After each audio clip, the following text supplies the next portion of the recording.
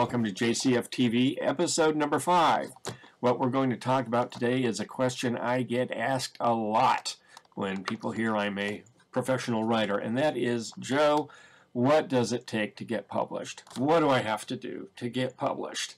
Um, that's a really good question, and, and there are a lot of ways you can answer that. You can you can answer that with with some of the pros and cons that are in the industry. For example, uh, there's an industry joke that says that you can't get a a publisher unless you have an agent, but you can't get the attention of agent an agent unless you've had a book published. So it's a, it's a funny little catch-22. On the other hand, some people say, oh, it's easy because all you have to do is, is write a book uh, that that has a, a, a competent uh, handle on the English language and, and should be about the same characters at the end that the, the book starts with. And some editor will snag it up because it's it's the end of the month and they need to fill out their line that's that's going to be available you know 18 months from now. They they've got their their bestseller and a couple good mid lists, and they they just you know they say they're publishing six books a, a month, and and they need number five and number six, and and they'll take something that, that looks like it's halfway decent and just plug it in and see if anything happens to it once it gets published.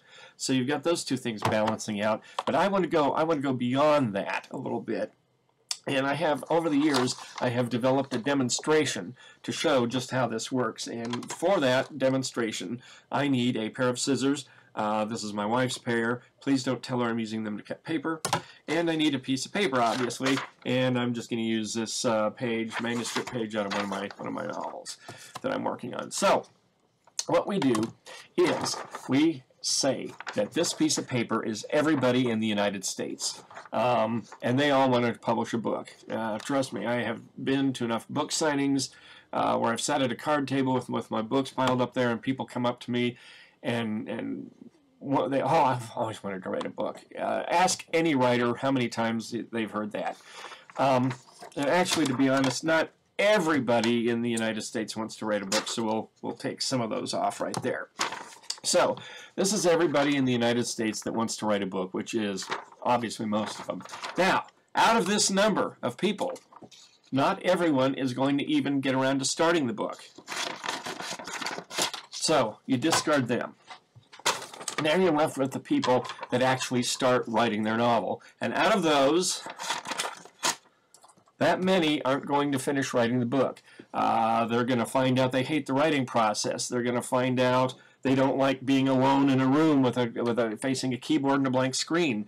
Um, they're going to find out that uh, there are much more fun things to do on a Thursday night when all their friends are, are going out to eat or to the movies or something, and they're home, I'm going to work on my novel, or for whatever reason, they never finish the book. So, these people have finished the book. Hooray for them. And out of those, that many are not going to do anything with it once once they're uh, once they're done. They may have a, a fear of rejection.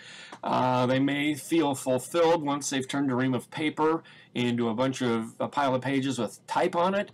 Um, so it, it goes in the bottom of their metaphorical closet underneath the bowling shoes. So these people start sending their books out. And this many have to deal with something, and that is called the first rejection slip. Uh, that's a biggie. A lot of people get the first rejection slip and think that they're not meant to be a writer or for whatever reason. Uh, most pros will tell you rejection slips are a part of the process.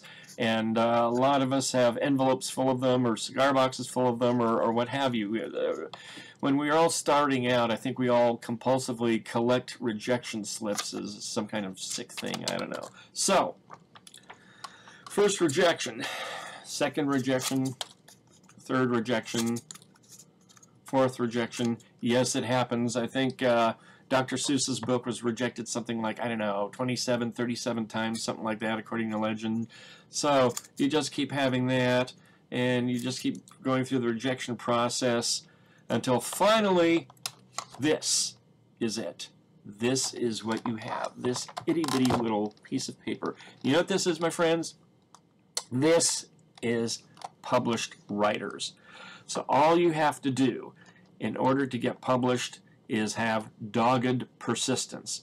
Now, it also helps if you, number one, follow the rules and, and don't think that your book is so unique and amazing that you can break all the rules that the publishing industry has established over the last you know, 150 years or so. Uh, those rules are there for a purpose.